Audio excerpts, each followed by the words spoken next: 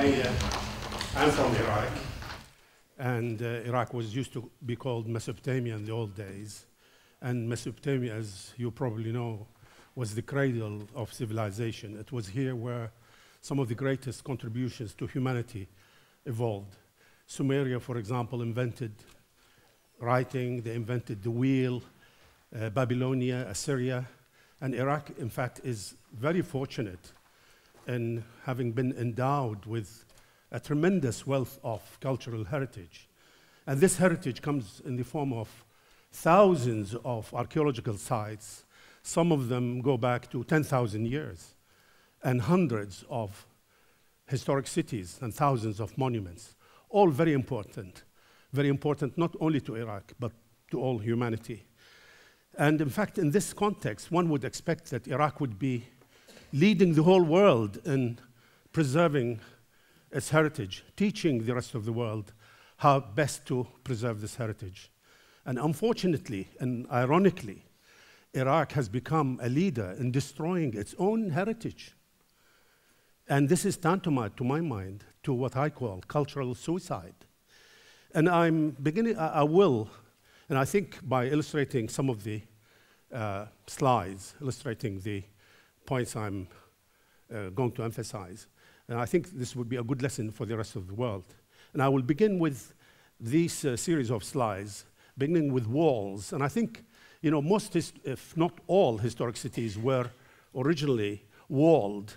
And this wall, in fact, protected these cities from any intrusion from the modern expansion that took place in the early 20th century. But unfortunately, the local authorities, the municipalities, began, have, uh, began uh, to have the idea of destroying these walls. And in fact, all of them have been demolished since the 1930s, and thereby inviting modern uh, development to intrude, to, to disrupt the very delicate historic fabric of nearly all historic cities. And what have you, uh, what happened then immediately almost, is the introduction of uh, wide streets like that, wide, straight, wide vehicular streets through the very delicate historic fabric of uh, this city, for example, Mosul, and, and many other cities as well. So uh, recent surveys indicate that as much as 80% of the historic fabric of most Iraqi cities have been lost forever. And this is really a tragic loss. And uh, another type of loss is what I call the loss of historic context of a monument. So you see, most historic mosques, for example, not only mosques, but other monuments, originally were part, part and parcel of the, of the local community. They were physically adjacent, physically integrated with hundreds, if not thousands, of other smaller buildings. Uh, and recently, uh, again, local authorities had the idea of removing the immediate surrounding of these monuments, thereby exposing the monument on its own, and thereby, of course, separating the monument from its own context. And I think, to my mind, this is another great loss, unfortunately. Uh, another type of loss is the sheer physical, ruthless annihilation of a city, a whole city. And we have a very glaring example here, what you see on the left-hand side is the historic citadel city of Kirkuk in the north of the country. A, a citadel that goes back to 2,000 years.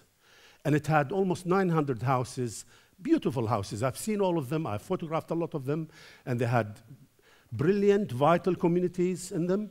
And in 1998, by sheer political decision for maybe I suspect for political reasons, security reasons, the, almost the whole city has been bulldozed, as you can see by this Google aerial or satellite picture. And this is really a massive, a massive annihilation of cultural heritage. Um, Another thing which is very common to, uh, is the direct demolition of historic monuments, as we can see here on the right uh, uh, side of the picture. A thousand-year-old monument was demolished uh, purely because uh, to allow for a modern street. Another monument was demolished, again to allow for the alignment of another street. And this, a thousand-year-old minaret, was blown up recently in 2006 by terrorists for ideological reasons. Now, to my mind, these are huge crimes, and I'm proposing uh, that you know, organizations like UNESCO and the United Nations should seriously think of considering such crimes as crimes against humanity. It is only by this international accountability that we can hope to stop any further loss to this tremendous cultural heritage for the whole humanity. Thank you. Thank you.